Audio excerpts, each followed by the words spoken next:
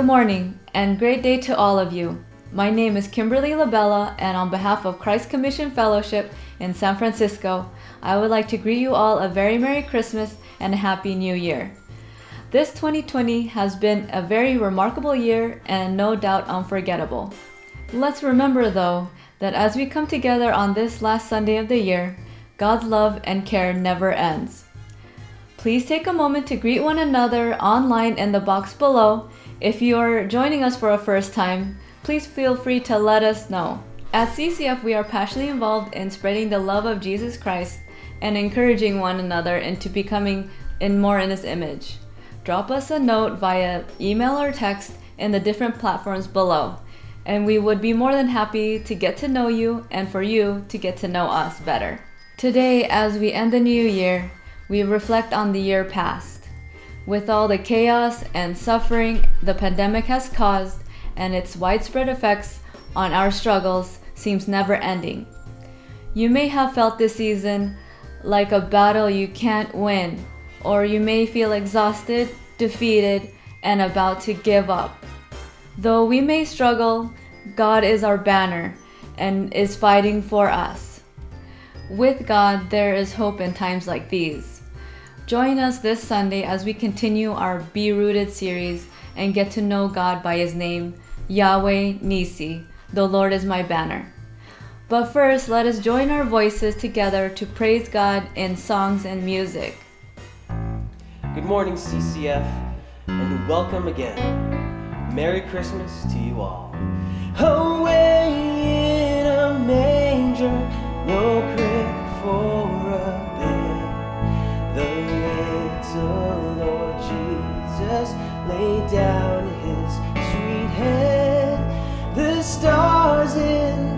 the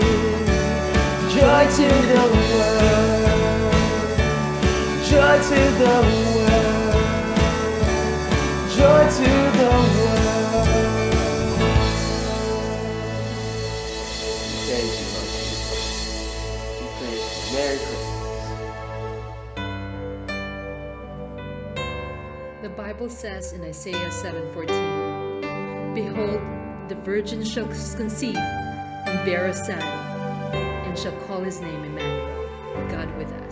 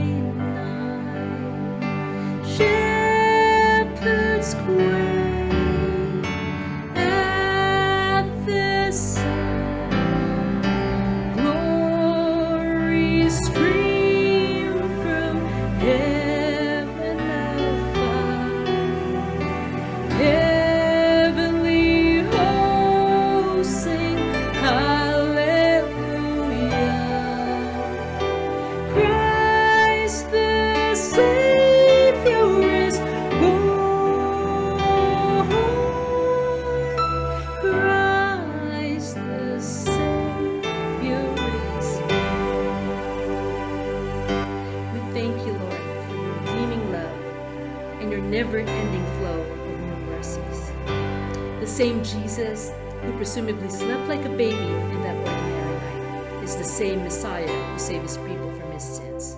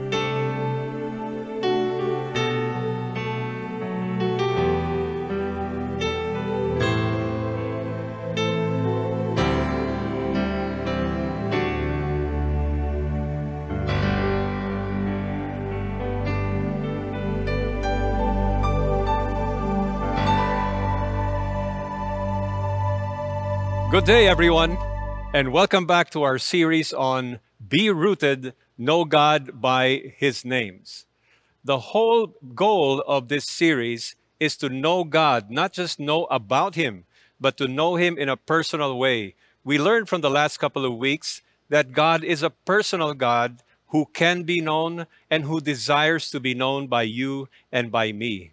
And so this is what it's all about knowing God by His names because His names reveal a lot about who God is. So we want to know God, not just know about Him. And what is the impact of knowing God by His names? As our series title says, we will become more deeply rooted in our spiritual lives. So that's the objective. Now, today's name of God is contained in a story from the Old Testament book of Exodus. And so, what I'd like to do is take us through the story from Exodus chapter 17 so that we can reveal what name of God we're going to learn about today. So, read the story with me. Exodus chapter 17, verses 8 through 16. Then Amalek came and fought against Israel at Rephidim. So Moses said to Joshua, Choose men for us and go out, fight against Amalek.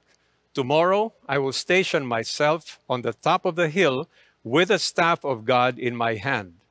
Joshua did as Moses told him and fought against Amalek, and Moses, Aaron, and Hur went up to the top of the hill. So it came about when Moses held his hand up that Israel prevailed, and when he let his hand down, Amalek prevailed. But Moses' hands were heavy. Then they took a stone and put it under him, and he sat on it. And Aaron and Hur supported his hands, one on one side and one on the other. Thus his hands were steady until the sunset. Verse 13 So Joshua overwhelmed Amalek and his people with the edge of the sword. Last few verses. Then the Lord said to Moses, Write this in a book as a memorial and recite it to Joshua, that I will utterly blot out the memory of Amalek from under heaven. Moses built an altar and named it. Now let's say this together. This is the name of God we're going to study. The Lord is my banner.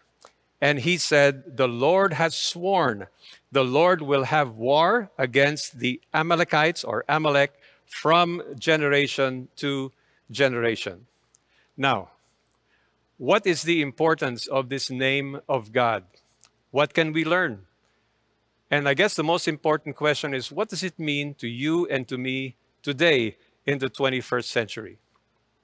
Let me try and explain this whole idea of the Lord is my banner by going back to a scene that I recall from a movie on the American Revolution. So once upon a time, there was uh, this movie that was made about the volunteer militia, the Continental Army, that was fighting against the British occupiers of America. And what happened at one point in that battle is this.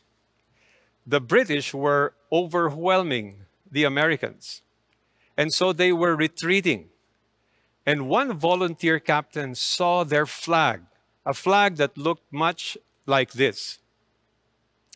And what happened was when he saw the flag and he saw the people retreating, he took the flag from the flag bearer and he began shouting to the people, No retreat, no retreat. And he took the flag and he began charging towards the enemy. And when the people saw him, they said, Wait a minute, we need to stop retreating. And they all came under, they all gathered under the flag and they charged the enemy. And at the end of the day, they won the battle. By the way, that was an actual battle in the history of the American Revolution. But what's the meaning again to you and to me today? Well, let me explain. During this pandemic, have you ever felt any of these things? Defeated, disillusioned, emotionally exhausted, afraid, lonely, overwhelmed, wanting to quit, wanting to quit what? Wanting to quit your work, your ministry, your marriage, maybe even wanting to quit your life. Well, folks, if you've ever felt any of these things or are feeling them right now, or maybe if not, I'm pretty sure that you will feel one of these things sometime in your life, this message is for you. What is our message today based on the story we read from Exodus 17? Our message today, our name of God is Yahweh Nissi. The Lord is my banner. Again, what does this mean and what does it mean to you and to me today? Well, first of all, let's break it down. Yahweh, Lord, L O R D, the personal name of God. We learned about this in the last couple of weeks the personal, relational God who wants to be in relationship with you and me. He is the supreme moral being, and He is the covenant or the promise keeping God. So we learned that a couple of weeks ago. But now we learn something new. There's an added feature or attribute to His name. It's Yahweh Nissi. And Nissi literally means my banner. Notice, it doesn't say God is a banner. It says, He is my banner. He is your banner. And what it means is a banner is a standard or a rallying point, just like that story we heard earlier about the battle in the American Revolution, a rallying point. And for me, this is my personal principle of application of what this means to me and what it should mean to you. God is my personal source of new strength and inspiration to press on and experience His victory in my life's battles. That, ladies and gentlemen, is Yahweh Nissi. Now, what are the things we're going to learn together as we go back to the story in Exodus 17? There are three important truths that you and I need to learn and understand. And these are the following. From Exodus 17, 8 to 16, we will learn who are our real enemies. Please tell the person beside you, you are not my enemy. And, you know, assure that person that you are not that person's enemy either. My wife and I tell people this all the time. We are not each other's enemy. Who are the real enemies? We will learn that together. Second, what should be, according to the Bible, our response to our true enemies? And finally, oh, and by the way, this is why you need to stay with me up to the end of this message, because the end is the best part. The best part is God's promises. What promises did Yahweh, our promise keeping God, make regarding our enemies? Okay, so track with me to the end so that we learn all of these things together. Are we good? All right. Let's go back to the story. Exodus chapter 17, we begin again with verse 8. Then Amalek came and fought against Israel at Rephidim. Who in the world is Amalek? Now, Amalek, once upon a time, was an individual by that name. But eventually, over the decades, he grew into a people group. So, Amalek in this case is not just a person, it's almost like a nation of people who descended from Amalek, who descended from Esau, the brother of Jacob. And it says here that Amalek came and fought against Israel. Now, the word fought here doesn't mean that they were just out to give Israel a hard time. They were here, the word fought means to devour or to destroy. In other words, the, the objective of the Amalekites, as they were sometimes called, was to wipe out Israel completely from the face of the earth. These enemies of the Israelites were ruthless cunning enemies, as I'll show you in just a moment. Now, take note this was the first time the Israelites experienced an actual battle in their lives. The Amalekites were their first official enemy. And just to show us how ruthless and merciless this enemy was, in Deuteronomy chapter 25, there is a remembering of that incident. And it says, Remember what Amalek did to you on the way when you came out of Egypt how he confronted you on the way and attacked among you all the stragglers at your rear, meaning to say, they intentionally watched out for those who were seemingly lost or weak.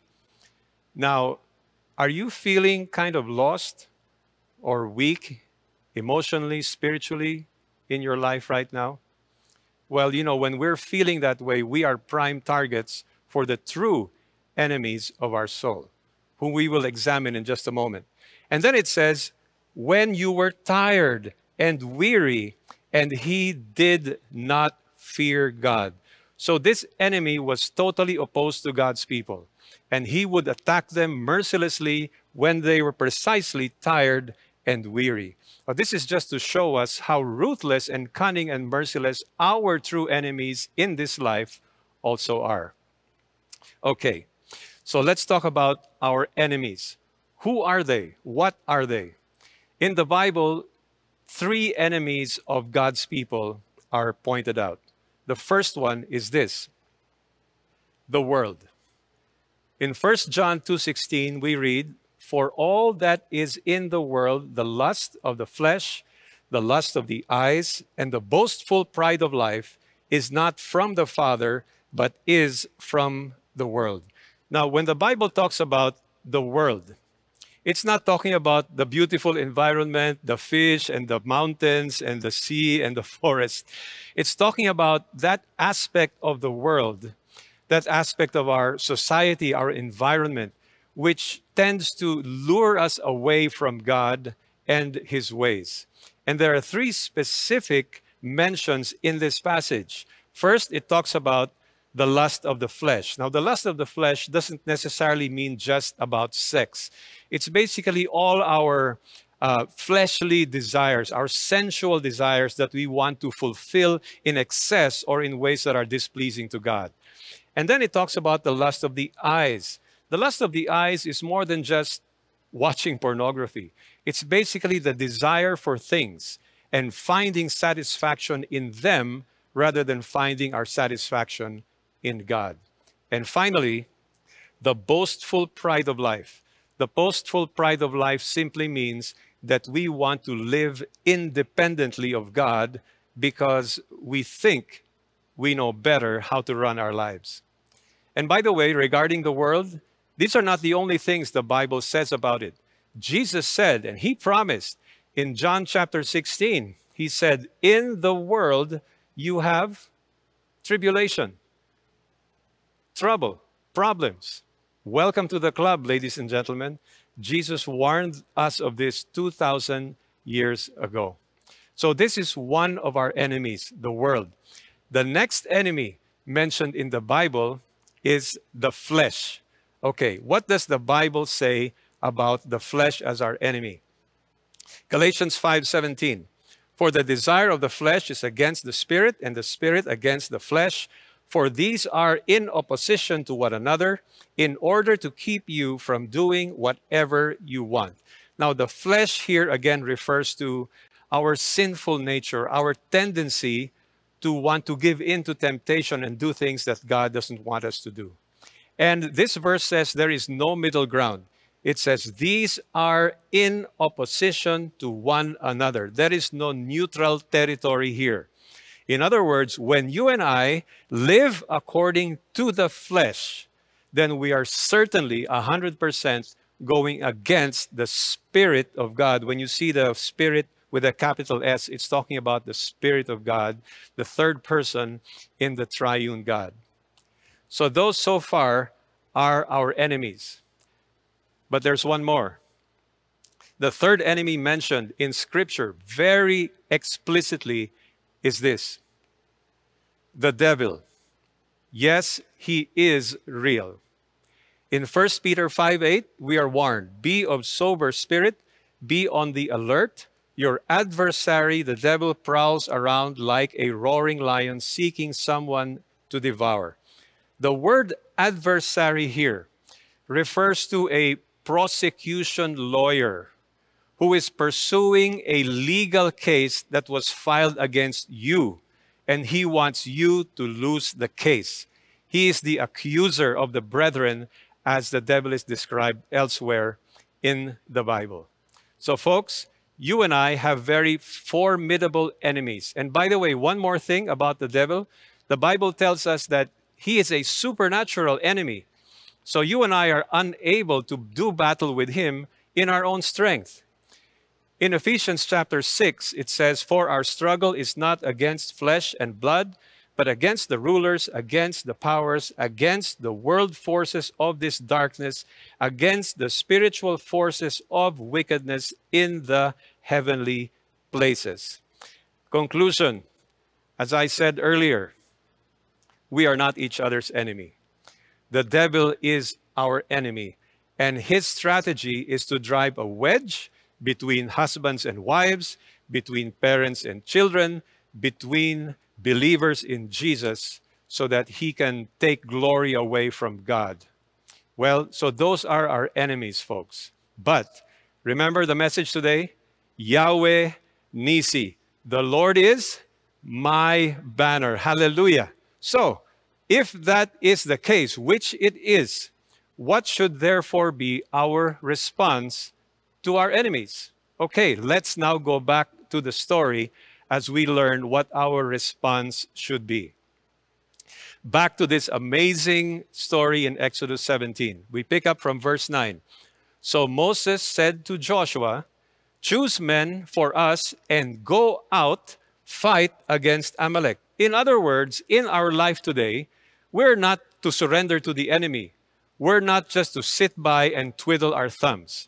We have a part to play in this battle, and we need to assume responsibility for that part. But I want to make it very clear the way that we wage war in this battle in our lives is not what we see typically in the movies. It is a very special, supernatural way, only empowered by the Spirit of God. What do I mean? Tomorrow, this is Moses talking. I will station myself on the top of the hill with a staff of God in my hand. Joshua did just as Moses told him and fought against Amalek, and Moses, Aaron, and Hur went up to the top of the hill. Now, I want to refer to the staff of God. Uh, some of you, maybe you're not into the Bible, and maybe these terms are a bit strange to you, and you say, staff, you mean like employees of God? No, no, no, that's not what it means. A staff in this case is a like a walking stick. It's just a piece of wood but somehow Moses referred to it as the staff of God. What is the significance of that in this story and for you and me? So let's rewind first, a few chapters back in the same book of Exodus, where Moses had this conversation with God. This one you may remember, the burning bush, right? So Moses had spent the better part of 40 years as a shepherd in the desert and he didn't know what his life was going to amount to at that time. And then God called to him from the burning bush and said, Moses, I'm going to send you back to Egypt, and you're going to tell Pharaoh to let my people go. And obviously, Moses is like, like, what? Me, Lord? Who? God. Anyway, so he had this conversation with God, right? And one of the things he said to God was, What if they will not believe me or listen to what I say, for they may say, The Lord has not appeared to you. Look at the answer of God. The Lord, same, L O R D, the personal name of God. The Lord said to him, What is that in your hand? And he said, A staff. So, what is about this staff? It's just a piece of wood. Now, I know if you're about my age, you're thinking, wow, Indiana Jones stuff, you know, let's find a staff in the desert hidden there because it has magical powers. No, it's nothing like that at all. The staff has no magical powers. The power belongs to God. But the staff was a reminder to Moses.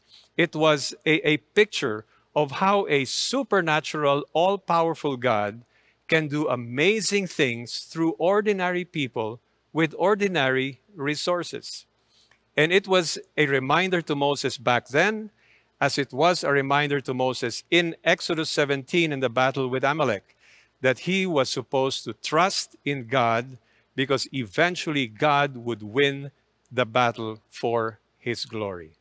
That is the significance of the staff of God. So let's go back now to the story. So it came about when Moses held his hand up that Israel prevailed, but when he let his hand down, Amalek prevailed. Clearly, in the eyes of Moses, this was really a supernatural battle. He had to really put his trust in the Lord. In the same way as you and I face our battles in life, just like Moses was reminded, you and I need to trust in the Lord that eventually and ultimately he will be victorious. But tell me, what was Moses doing as he was holding up his hands. Most people will say he was praying. I actually agree with that. But the truth is, we don't see it in the passage. It doesn't tell us exactly what Moses was doing. But elsewhere in the Bible, we have clues. For example, Psalm 28, verse 2. Read this with me. Hear the sound of my pleadings when I cry to you for help when I raise my hands toward your holy sanctuary.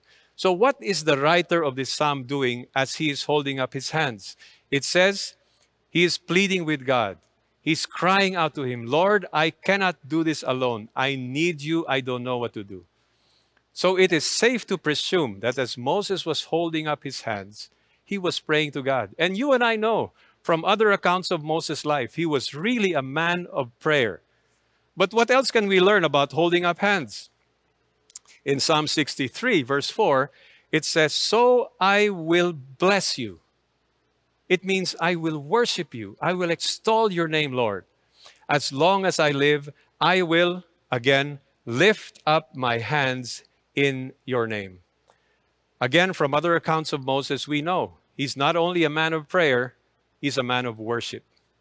And so it is safe to assume that as Moses was up on top of that hill, raising his hands, he was praying and pleading with God about the battle below, but he was also worshiping God, trusting him, believing that God will ultimately win the victory for his glory. How does this apply to you and me? Well, let me tell you about my own life, just a little bit. There have been times when I really didn't know what to do about some problems in my life. Several of them, many of them. And I would just go to a place to be alone with God, you know, something like maybe Moses going up on top of a hill. But in my case, I would go to a place like this. And I just want to have alone time with God and just say, Lord, I don't know what to do about this problem. I'm at the end of my rope. I'm crying out to you. I'm pleading with you for help. I cannot fight this battle. But I'm also worshiping you as the God who is sovereign, as the God who sent his Son to save me, as a God who hears and answers prayer. And you know what? True enough, just like the battle against the Amalekites, eventually I experienced time after time the victory of God in the battles of my life. Now, don't get me wrong. Sometimes He would remove the problem, but sometimes the problem would still be there. Some of the problems I cried out to God about months or years ago are still here today. But somehow the Lord has won the battle in my heart and in my mind. And He has given me peace that He's doing something and His victory will someday be complete. And you can have the same assurance as He gave me. Okay, folks, let's go back to the story. Exodus 17, verse 12. Moses' hands were heavy, so they took a stone and put it under him, and he sat on it. And Aaron and Hur supported his hands. Now, who, who are these two guys? Okay, Aaron, his brother, and Hur another one of the Jewish leaders. Okay, let's, let's keep it as simple as that. So they supported his hands, one on one side and one on the other. So his hands were steady until the sun set, and Joshua defeated Amalek and his people with the edge of the sword. Let me comment first on this.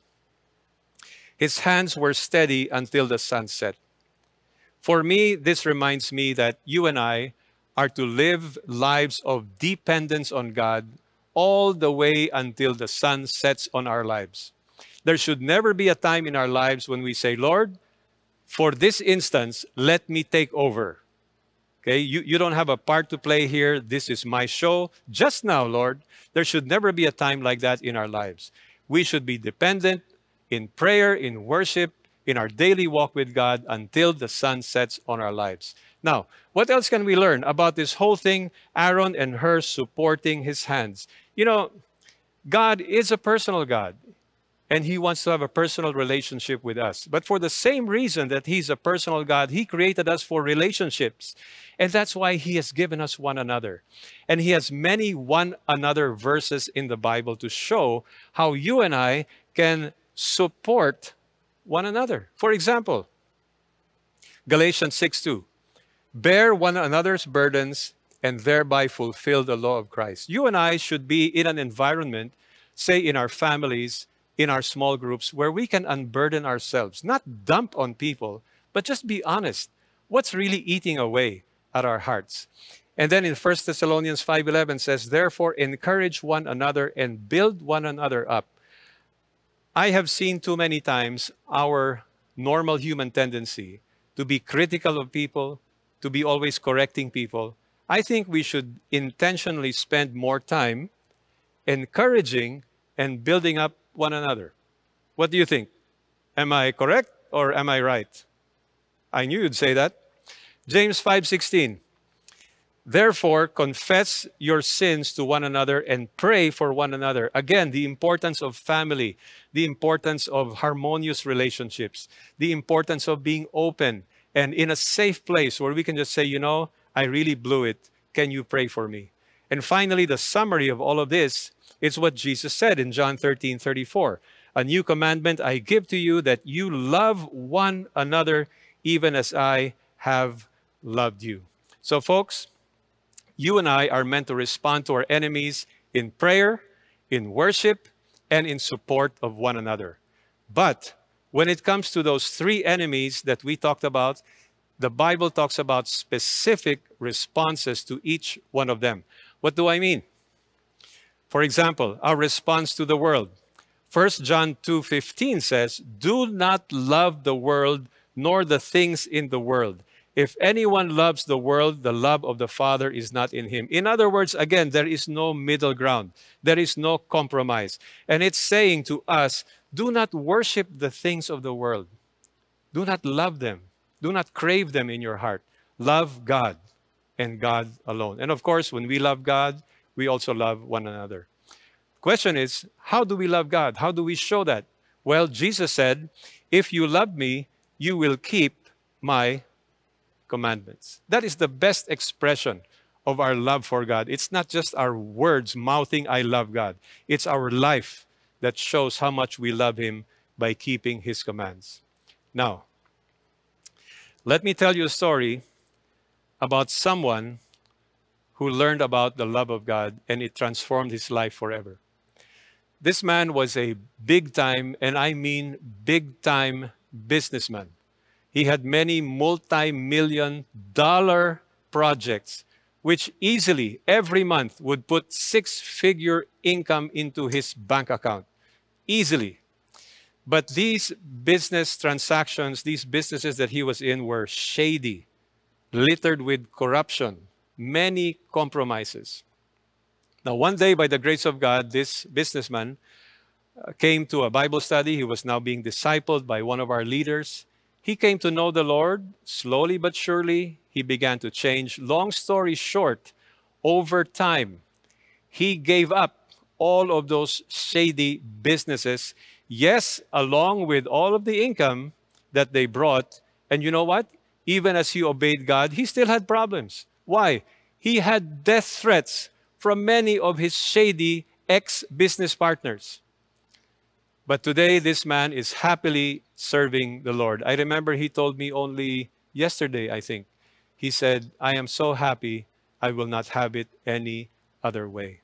However, let me tell you this just because he's following Jesus, just because you and I are following Jesus, doesn't mean we will no longer have any problems. This man I'm talking about, who is walking with Jesus, during the pandemic, he lost two of his immediate family members within 10 days of each other. The pain, I can imagine, is unbearable. But this brought him to greater depths in his relationship with Jesus. And he knew more than ever how real and personal our Yahweh God is. He knew that God felt and knew his pain. And not even these problems will deter him from loving and obeying Jesus. Praise God indeed. Now, our response to the flesh, all right? Ephesians 5:18 says, "And do not get drunk with wine in which there is debauchery, but be filled with the Spirit." Again, it means the Holy Spirit. You and I need to make it a practice, part of our spiritual discipline to be always filled with the Spirit. It's called the spirit filled life, the greatest secret of the Christian life, which should be no secret at all. We always need to tell the Holy Spirit, Will you fill me and take control of me? Yes, it's true, the Holy Spirit indwells us when we give our lives to Jesus. But we need to depend on Him moment by moment, day by day, to experience God's victorious power at every stage and episode of our lives. How powerful is it when a person is controlled by the Holy Spirit. Let me give you this story about a young lady. This young lady grew up in a very dysfunctional family. For one thing, her father had multiple mistresses, one of which was her own age. Can you imagine? And so she developed an intense hatred for her father. And eventually, because of the multiple problems in her situation, she turned her back on God Himself. But praise God for His mercy, even in the midst of her dark life, you see, at some point, she began indulging in her own immoral relationships, same sex, or in another case, living in with a man. But God took hold of her life. Somebody invited her, you know, to study the Bible. God opened her heart and transformed her life. Long story short, today this young lady is serving God with all of her talents, with all of her time and effort. But here's the thing God won the battle of purity in her life, right? So now she's living a pure life for the glory of God. But the issue of hatred for the Father, this is the, you know, like the highlight of her story. Because God put in her heart the desire to see her father again. And so she prayed, Lord, will you let me see my father again? And God answered that prayer. And lo and behold, when she met up with the father, there was not even a trace of anger or hatred for him. It was just love and compassion. And so God won this other battle in her life as well, because she and her father are totally 100% reconciled today. Praise God. He can do the same for you. Now, finally, our response to the devil. James 4 7 to the first part of 8 says, Submit therefore to God, but resist the devil, and he will flee from you. Come close to God, and he will come close to you. So we see several things. Submit, therefore, to God, meaning come under His care, His authority. Just like that flag, remember? Come under Him. He's the rallying point. He should be the one we run to. And then resist the devil in the power of the Holy Spirit. And then come close to God. Walk with Him day by day. Spend time in His Word. Let Him speak to you as you speak to Him. Now, what difference does this make? Does this really happen? Well, let me tell you this story. This is about a young man. This young man, even when he was already a follower of Jesus, made several attempts to take his own life. Yes, even while he was a follower of Jesus. He faced many issues in his life, many dysfunctions in the family, his own insecurity, his own uncertainties about the future. Now, in his last suicide attempt, the Lord rescued him. The Lord did not allow him to die. He still had plans for this young man. But even after that, the enemy kept bombarding him with lies. You are not worth anything. The grace of God is wasted on you. There is no future for you in ministry, etc., etc. But what did this young man do? He submitted himself to God. He submitted himself to God's mercy and grace. He submitted himself to godly mentors. Basically, he counteracted the lies of the enemy with the truth of the Word of God. What happened to this young man? Okay, this is the answer I'll tell you. If you want to see a picture of God's victory in someone's life, you listen to the Tagalog version of this message because that young man will be delivering that message for you by the grace of God. Hallelujah. Okay, folks, now remember I told you the most important part here the promises of God. What are God's promises with regards to our enemies? Okay, this is the final part of the story. Then the Lord said to Moses, Write this in a book as a memorial and recite it to Joshua. In other words, put this down, Moses, because this is my promise and I'm going to do it. What was his promise? I will utterly wipe out the memory of Amalek from under heaven. In other words, God is saying, one day you will see my victory is complete. The enemies of my people will never have the final say. God, Yahweh Nissi, the Lord is our banner. He will have the final victory. Did it actually happen in the case of Amalek? Well, in First Chronicles chapter 4, this is what we read. From them, from the sons of Simeon, 500 men went to Mount Seir with Pelatiah, Neariah, Rephaiah and Uzziel, the sons of Ishi, as their leaders. What did they do? They destroyed the remnant of the Amalekites who escaped and have lived there to this day, meaning the sons of Simeon took their place. Folks, this is the bottom line. Remember, Yahweh is the promise keeper God. And when God makes a promise, he will fulfill it. Even the promise to wipe out and be victorious ultimately at the end of the day over the enemies of our life. So here's how the story ends. And Moses built an altar and named it, The Lord is my banner. And he said, Because the Lord has sworn, the Lord will have war against Amalek from generation to generation. And you know what this reminds me of? That means that our God does not change from generation to generation. The same God who says he will fight your battles and mine, he will fight the battles of the future generations of his people until we all see him face to face. Praise God. And notice, Moses did not raise a flag, he built an altar. Why?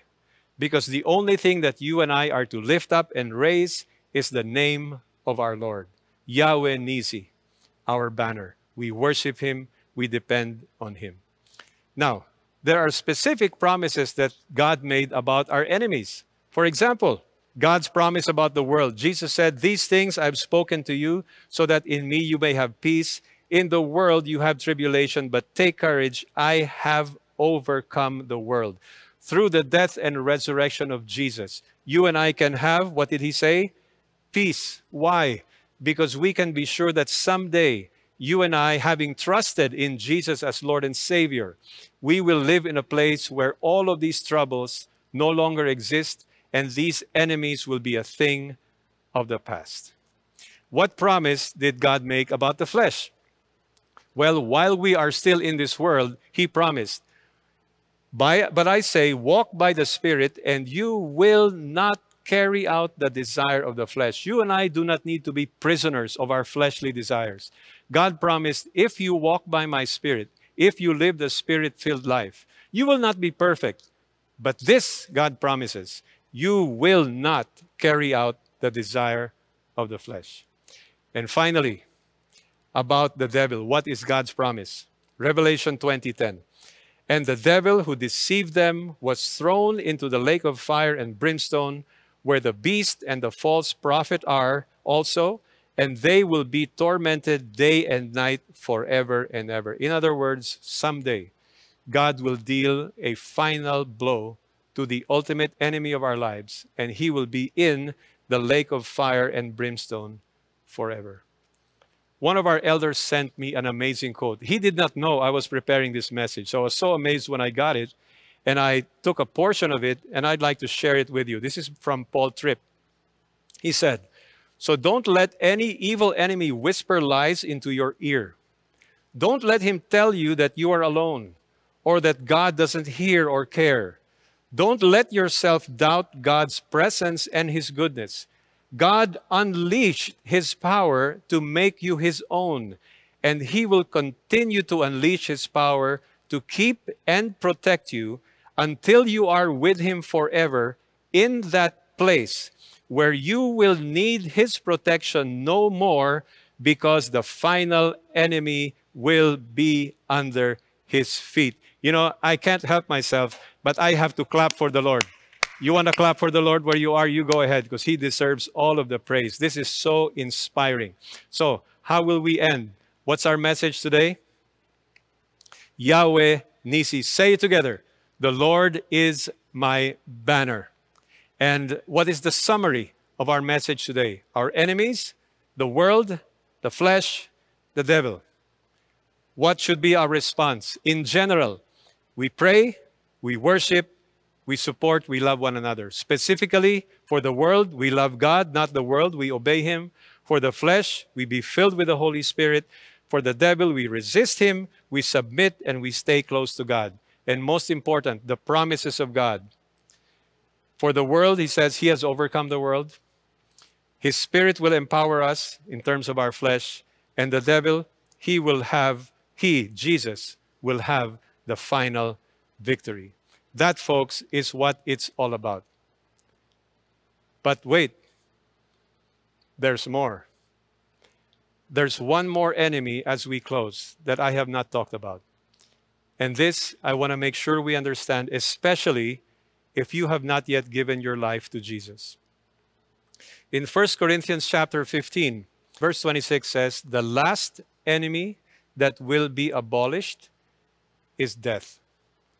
What does this mean? Let me tell you more from the same chapter. Paul writes, Now I say this, brothers and sisters, that flesh and blood cannot inherit the kingdom of God, nor does the perishable inherit the imperishable. Behold, I am telling you a mystery. We will not all sleep, but we will all be changed. Meaning to say, followers of Jesus may not all experience physical death, but one thing is for sure we will all be changed. What does that mean? In a moment, in the twinkling of an eye, at the last trumpet, for the trumpet will sound, and the dead will be raised imperishable, and we will be changed. For this perishable, meaning our physical bodies, for this perishable must put on the imperishable, and this mortal must put on immortality. But when this perishable puts on the imperishable and this mortal puts on immortality, then will come about the saying that is written Death has been swallowed up in victory. Where, O death, is your victory? Where, O death, is your sting? So, as we close, my question to you is Do you absolutely believe are you absolutely sure that what we just read will be true for you when the time comes? This is why Jesus came. This is the reason for that first Christmas. So that believing in Jesus with all our heart as our Lord and Savior, we may be sure that this world is not our home. And ultimately, when we experience the final victory, we will be with Jesus forever. If you have never fully surrendered your life to Christ, I'd like to invite you to do that right now. Not later today, not the next day, right now. Right now, as you're listening. Let me lead you in a simple prayer, but let it be your prayer from your heart. Something like this. Pray with me. Lord Jesus, I realize that I could never have victory, real victory over the battles of my life without you. But more than that, Lord Jesus, I realize that when you came to earth and you died and you resurrected, you already won the greatest battle, the battle for my soul. And so, Lord Jesus, in all humility, with whatever faith I have in my heart, I give myself to you and I receive you to myself as my Lord, as my Savior. Will you transform me from the inside out? And will you make me the person that you designed me to be in the first place? Let me be that person, Lord, who worships you, who lives for your pleasure, your honor, and your glory, and whom you will use to tell others about you as well. This is my prayer, Lord. In your name, amen and amen.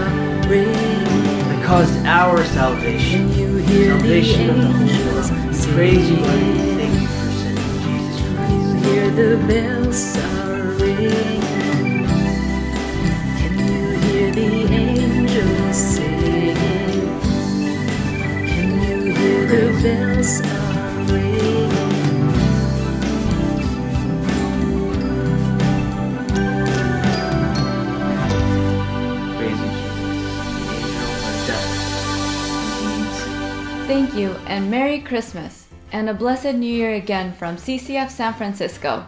If you need information about us, just connect with us through the different platforms below, and we'll get back to you. By the way, we do have a special announcement for you before we end our time together. It's about the upcoming Intentional Discipleship Conference happening online. And to tell you more about it, we have one of our speakers, Josh McDowell, to give you this special invite. How I wish I could just be having a cup of coffee with you right now. But you know, the pandemic has been uh, devastating all over the world. There's not a country in the world that's not paying the price of it, or a church. But you know, one thing the pandemic has showed us that God is sovereign. Things are still happening. People are still coming to Christ. The Great Commission is being fulfilled. When I look at God, we know God through his attributes. When we say God is love, we don't mean a part of God is love. We mean that is something that is true of God in his very basic nature. So when God loves, he's simply being himself. And one of the attributes that really appeals to me is God is truth. With so much false news going on, false information, distortion, and everything, with so much challenges to the church, we need men and women who not just know the truth, but they're willing to live it out and pay a sacrifice for it. If ever we've needed to live out an attribute of God in our lives, it's now. Discipleship is critical. I challenge you to be a true disciple in Christ, to live out truth in your life. I'm Josh McDowell coming from Southern California. See you at IDC 21. Now you be there.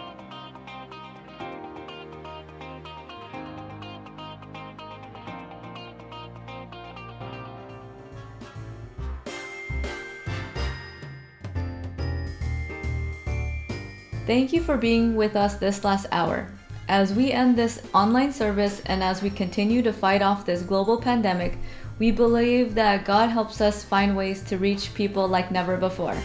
If you want to join a small group online, kindly connect with us through the links below. We are always encouraged to know that God is using this ministry to touch lives across the world through what He is doing here in San Francisco, California. So, if that is you and you have a story to share, or if you have made that choice to follow Christ today, please email us at ccfsf at yahoo.com. We would like to know about it more. By the way, just to help us all process the things that we have seen and heard this morning, we have some discussion questions for you on the screen later. You can use those questions when you gather with your friends and family, or use it on your own in your personal quiet time with God. Also, if you would like to worship through your giving, you can do so by giving online and help us bring this ministry to you every single week. So, on behalf of CCF here in San Francisco Bay Area, my name is Kimberly Labella saying be safe, be blessed, and be strong in the world.